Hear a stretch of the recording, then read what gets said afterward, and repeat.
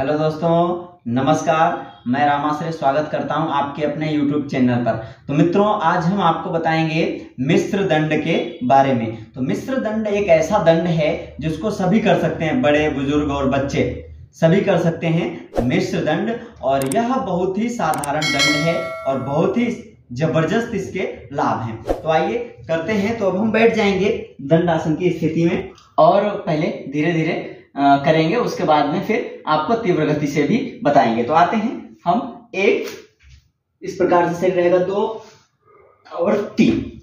सुना गए एक, दो, तीन। तो इस प्रकार से भाई उसको तीव्र गति से भी करते हैं। ये आपने देखा मिश्र दंड शुरुआत में आप जब अभ्यास करेंगे तो एक, दो, तीन के अभ्यास में, और उसके बाद में फिर आप इसका अभ्यास तीव्र गति से भी कर सकते हैं। तो वीडियो देखने के लिए धन्यवाद। आप बने रहें हमारे साथ।